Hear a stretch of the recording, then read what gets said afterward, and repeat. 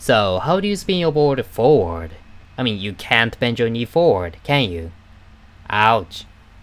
Unlike backside shove-its, where you can actually bend your knee, you can't bend your knee to spin your board in frontside shove-it and nollie backside shove-it. This time, we will try to find a way to spin our boards without swinging our legs. You're watching Why the Trick and today we are going to study a trick scientifically. Just like I said in the previous video, I personally think nollie backside shove-its are one of the easiest tricks in skateboarding. Plus, it is a kind of trick that consumes the least amount of energy, thanks to the law of inertia.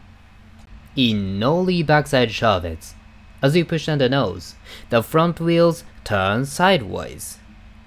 Then, they can no longer move forward and cause friction against the ground. At the same time though, since the center of gravity of the board tries to maintain its original movement, the board spins by itself. Now the question is, how do we rotate the board when our legs don't bend forward? To do this we have two options. Option number one, kicking out the front foot when you pop, like when you kick a soccer ball. And option number two, jumping up with your weight on the heel side. By shifting weight on the heel side and applying force downward, you'd naturally be pushing your board forward. Both of them allow us to spin our boards forward. Let's compare what these options are good at using this table. Starting from the strength of horizontal push. Instinctively thinking, isn't the first option more natural when you want to move an object forward? But think about it, does he really need so much energy to spin a skateboard?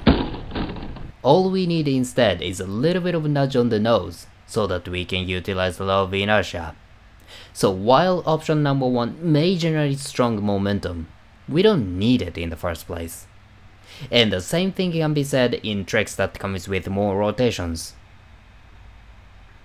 As for option number 2 however, although it does generate much smaller amount of horizontal energy, it is enough to spin a board. Moving on to the next item, ease of staying above the board.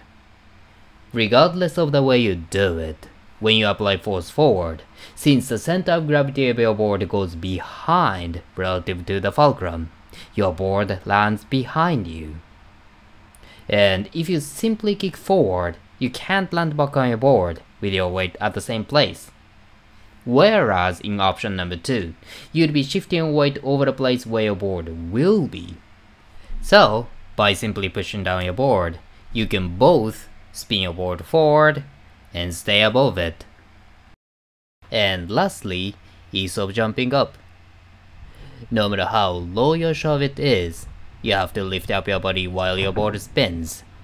While option number 1 would probably not generate any downward momentum to bring your weight upward, option number 2 allows you to both spin your board forward and jump upward. Due to these reasons, Option number 2 is much more suitable in nollie backside shove-its. Let's summarize how to do this trick. When you approach, make sure to keep your body axis straight upward all the time. If you lean backward, you may jump too far backward or lose your balance.